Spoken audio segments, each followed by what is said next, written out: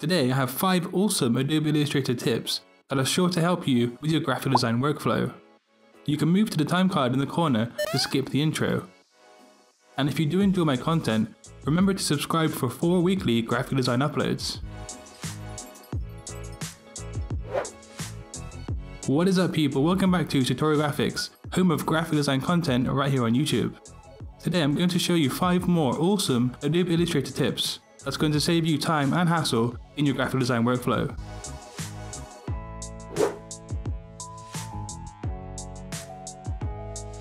When we're working in Adobe Illustrator, we sometimes find that our screen is cluttered with windows and panels. You may want to observe your designs clearly, and so you may either zoom out or manually close each window and panel.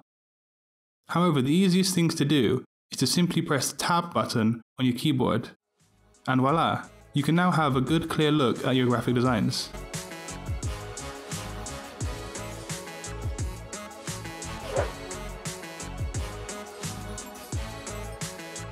This next Adobe Illustrator tip is again related to looking at your designs.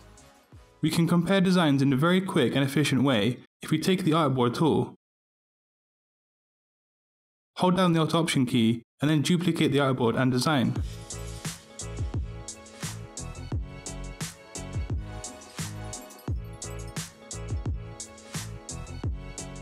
You can then make subtle changes to your designs to see what works best.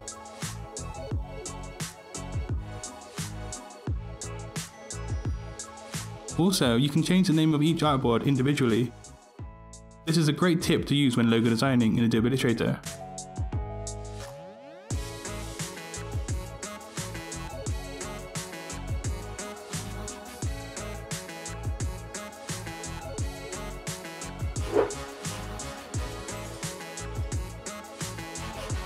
In Adobe Illustrator, by default, when we adjust a shape with a stroke, the stroke will not change in size proportionally to the size of the shape.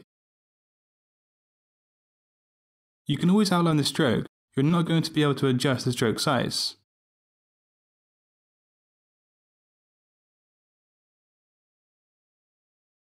The Illustrator tip I have for you is quite simple, and that is go up to Illustrator Preferences in the General section and check the Scale Stroke option.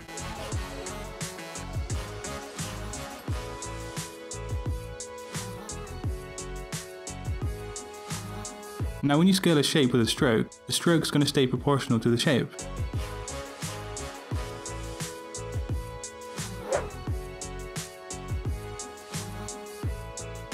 Here's an awesome Adobe Illustrator tip for typography. We can change one setting to make the kerning more visually appealing. Hit Command or Control T to open up the typography window. And then you'll probably find that the kerning preset is set to auto.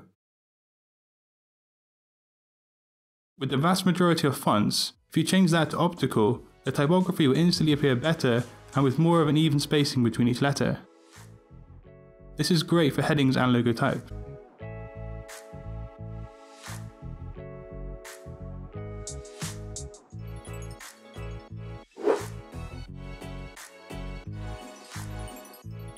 For the last awesome Adobe Illustrator tip, I have three keyboard shortcuts that you should know for your graphic design workflow. Firstly, like the one we used in the last tip, Command or Control T will open up the typography window. Command or Control O will quickly bring up the window for you to open a new document. And finally, Command or Control S will save any changes to the present document that you're working on. So, there are my 5 awesome Adobe Illustrator tips. I hope you found them useful and that you enjoyed today's graphic design tutorial, brought to you by Satori Graphics. Like and share my content if you want to help out my channel, and subscribe for 4 weekly graphic design uploads. So until next time, design your future today. Peace.